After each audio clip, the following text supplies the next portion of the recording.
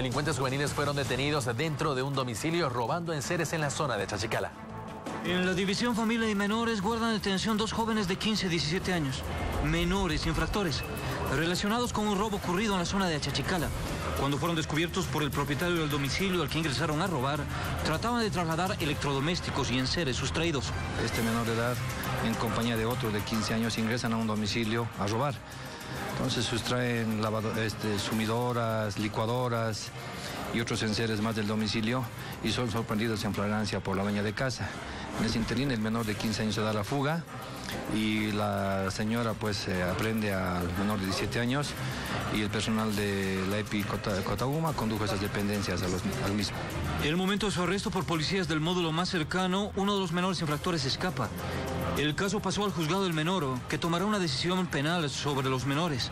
Uno de ellos está en edad para ser imputado, el otro menor será entregado a sus padres previa firma de compromisos y garantías. Se logró recuperar todo lo robado.